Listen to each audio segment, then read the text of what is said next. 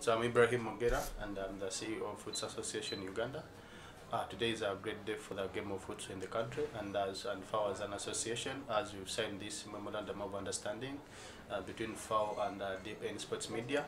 Uh, now Deepend Sports Media is an online broadcast company and uh, what this MOU brings to the game of futsal is that Deepend gets to record and broadcast and distribute all futsal games that includes the pre-game and the post-game material on all on all online Deepend sports medias and FAU and, and FAU sports media. So this is a great opportunity for, for futsal as a game as this aims at uh, as this aims at, at creating more more game awareness about the game of football, especially on the online media media platforms.